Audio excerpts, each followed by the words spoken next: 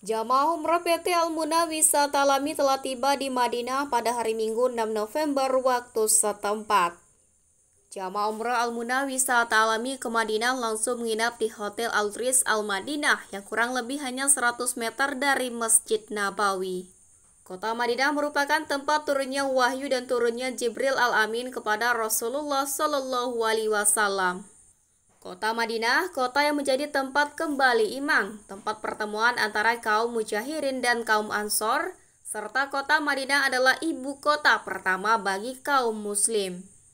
Usai beristirahat di hotel, 90 jamaah umroh dibawa ke Masjid Nabawi yang langsung dibimbing Ustadz Haji Mubdi Ramli Ba'ni. Dari pantauan CSM TV, tampak Ustadz Haji Muda sapaan akrabnya memberikan tausiah pendek untuk mengenalkan Masjid Nabawi kepada jemaah.